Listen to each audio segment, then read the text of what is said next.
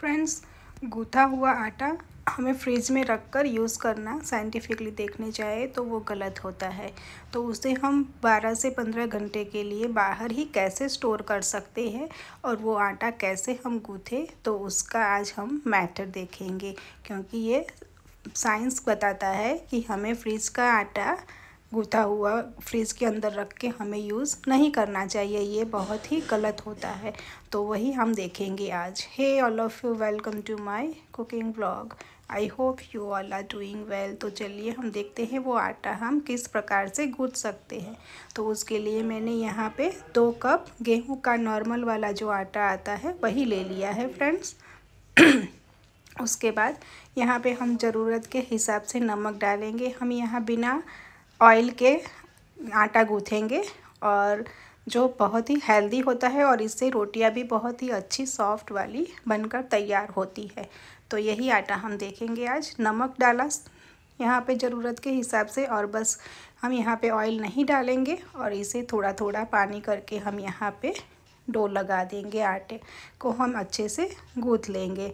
रोटी का आटा यहाँ पे हम बनाने वाले हैं। आप चाहो तो यहाँ पे पराठे के लिए भी आटा बना सकते हो तो वहाँ पे थोड़ा पानी कम लगेगा। यहाँ पे पानी हमें थोड़ा ज़्यादा लगेगा, क्योंकि हम रोटी का आटा बना रहे हैं। तो यहाँ पे अगर आप एक कप आटा लेते हो तो आधा कप पानी जाएगा। उस उस हिसाब से यहाँ पे आपको पानी लगेगा। तो मैंने दो कप आटा लिया है तो यहाँ पे एक कप पानी पूरा जाएगा। तो इस प्रकार से हमें थोड़ा थोड़ा पानी डालते हुए, इस आटे को अच्छे से मसलते हुए कूद लेना है। और हाँ फ्रेंड्स अगर आपको मेरी रेसिपी पसंद आती है, मेरी मेथड पसंद आती है तो मेरी मेथड को रेसिपी को लाइक कीजिए चैनल को सब्सक्राइब कीजिए बेल आइकन को ऑल नोटिफिकेशन में सेट कीजिए, ताकि आने वाली हर नई वीडियो का नोटिफिकेशन आपको मिलता रहे। तो देखिए थोड़ा थोड़ा करके पानी डालते हुए हमें इस प्रकार से गूँथ लेना है। अगर बिगनर्स भी है तो वो भी इस प्रकार से अगर आटा गूँथेंगे तो वो पहली ही बार में आटा इस प्रकार से अच्छे से गूँथ पाएँगे, देखिए। तो इसे हमें ज़्यादा मसलना नहीं है, बस इस प्रकार से हमें एक डोल बनाकर इसे ढक देना है कुछ समय के लिए। तो ये अच्छे से सेट हो जाएगा। उसके बाद हम इसकी आगे की प्रोसेस करेंगे। देखिए, बस ज़्यादा मसला नहीं है मैंने। बस इतना सा ही हमने गूथा है और इसे हम ढक देंगे कुछ समय के लिए। देखिए, हमारे हाथ में जो आटा लगा है, वहाँ पे हम थोड़ा ड्राई सूखा आटा ले लेंगे और दोनों हाथों से रब करते हुए उसे भी हम मसल लेंगे। और वो आटा भी हमारा निकल जाएगा। तो उसे भी हम इस डो के अंदर सेट कर लेंगे। और देखिए इस प्रकार से आप कर सकते हो।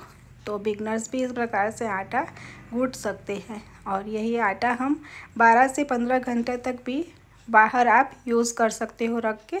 इसे हमें फ्रिज में रखने की ज़रूरत नहीं है। तो वो किस प्रकार से हम रखेंगे वो भी मैं आपको आगे दिखाती हूँ। देखिए, इस प्रकार से हमें इसे मिक्स करके छोड़ देना है, ढक देना है। वैसे फ्रेंड्स आप लोग मेरी ये मेथड कहाँ कहाँ से देख रहे हो ये मुझे कमेंट बॉक्स में ज़रूर से बताएँ, ताकि मैं आप सबका शुक्रिया अदा, थैंक यू, कह सकूँ। देखिए, पाँच से दस मिनट के लिए हमें इसे छोड़ देना है। बस ज़्यादा नहीं, कुछ समय के लिए ही रेस्ट पर रखें तो ये अच्छे से सेट हो जाएगा। देखिए, हमारा आटा अच्छे से सेट हो चुका है। तो अब हाथों में हम थोड़ा सा ऑयल लगाएँगे। ग्रीस करने के लिए ज़्यादा नहीं चाहिए हमें, थोड़ा सा ही चाहिए, ताकि आटा जो है काला ना पड़े, इसलिए हमें इसके ऊपर थोड़ा सा ऑयल बस स्प्रेड करना है, ज़्यादा नहीं। और अच्छे से मसल लेना है बस। कुछ भी ज़्यादा नहीं करना है, ज़्यादा मेहनत भी नहीं लगती है, ज़्यादा ताम झाम भी हमें इसके अंदर करने की ज़रूरत नहीं है। और जो वर्किंग वूमेंस है, वो लोग इस प्रकार से सुबह में रोटी का आटा लगा कर रख सकती है बाहर तो वो शाम को आकर फटाफट से रोटियाँ बना सकती है। उसे फ्रिज में रखने की कोई ज़रूरत नहीं होती है। तो देखिए, इस प्रकार से हमें सेट कर लेना है आटा और फिर इसे हमें आगे की प्रोसेस करनी है। तो उस प्रोसेस के लिए हमें चाहिए होगा कॉटन का कपड़ा। मैंने यहाँ पे कॉटन का नैपकिन लिया हुआ है। आपके पास कोई भी कॉटन का क्लीन कपड़ा हो, जो अच्छे से वॉश किया हो, वही आप यूज़ करें। देखिए ऑयल लगाकर हमें इस पर छोड़ देना। पहले हमने ऑयल से मसल लिया, अब इसके ऊपर अच्छे से ऑयल हमने ग्रीस कर दिया है आटे को, ताकि आटा जो है हमारा काला ना पड़ जाए और सूख ना जाए। इसलिए हमें ऊपर ऑयल थोड़ा सा स्प्रेड करना है। ये मेथड भूले नहीं और कोई भी टिप्स आप इसके अंदर मिस ना कर जाओ, इसलिए, इसके लिए एंड तक ज़रूर से देखिए फ्रेंड्स देखिए कपड़ा जो है हमारा सूखा जो एकदम ड्राई वाला है उसे अच्छे से हमने पानी में भिगो कर निचोड़ लिया है। ज़रा भी अंदर पानी नहीं रहना चाहिए। इस प्रकार से हमें कपड़े को निचोड़ लेना है। उसके बाद इसके ऊपर ढककर हमें ढक देना है देखिए। अभी हम दिखाएँगे। ये दूसरा आटा।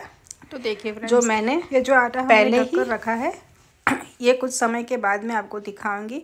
और मेरे पास दूसरा भी आटा है जो मैंने 12 से 15 घंटे पहले गूँथ कर रखा था, उसे मैंने किस प्रकार से रखा है वो भी मैं आपको दिखा रही हूँ। देखिए, ये मेरे पास 12 से 15 घंटे पहले का आटा है, जिसे मैंने इस प्रकार के हॉट बाउल के अंदर, इस प्रकार से दूसरे बर्तन के अंदर रख कर कपड़े से ढककर, एयरटाइट कंटेनर यानी कि ये जो हॉट बाउल है हमारा रोटी रखने का, उसके अंदर मैंने रखा है। तो ये पंद्रह घंटे के लिए रखा था तो वो ऐसा का ऐसा ही ना तो ये गीला हुआ है, ना सूखा है और कुछ भी नहीं हुआ है और एकदम फ्रेश आटा है हमारा, आप देख सकते हो। तो आप इस प्रकार से जब भी आपको पंद्रह घंटे के लिए रखना है तो इस प्रकार से आप रख सकते हो।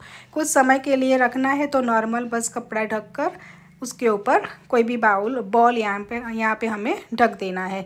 तो आप दोनों ही प्रकार से देख सकते हो। ये मैंने दूसरा दिखाया जो है, पंद्रह घंटे तक मैंने ढक कर रखा हुआ था तो वो भी ऐसा का ऐसा है। और ये जो मैंने पहला वाला दिखाया है, वो भी दोनों ही आटे सेम दिख रहा है आपको।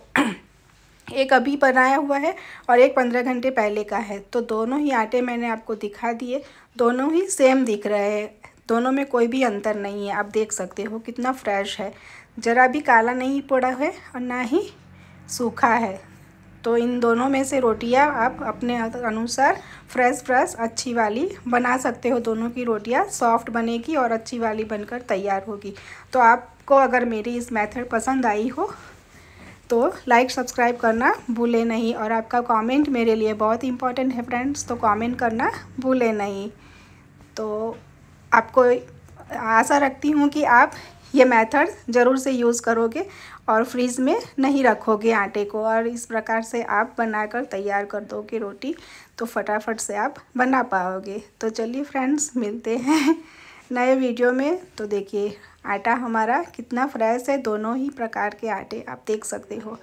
पंद्रह घंटे पहले का और अभी का। दोनों का आटा सेम वाइट कलर आपको मेरा ये वीडियो पसंद आता है तो मुझे आप कमेंट में अपना नाम पूरा और कहाँ से देख रहे हो ये मुझे ज़रूर से बताएँ ताकि आने वाली नई वीडियो के अंदर मैं आपका नाम और शुक्रिया अदा आपको कर सकूँ। तो ये ज़रूर से करें फ्रेंड्स थैंक यू